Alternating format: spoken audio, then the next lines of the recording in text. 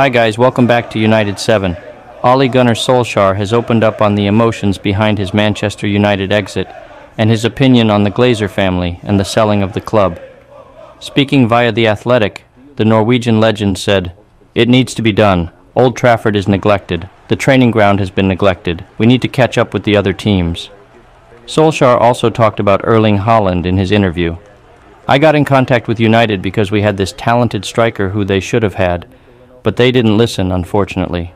Four million I asked for, but they never signed him. Four million. Don't ask where he is now. He's too good.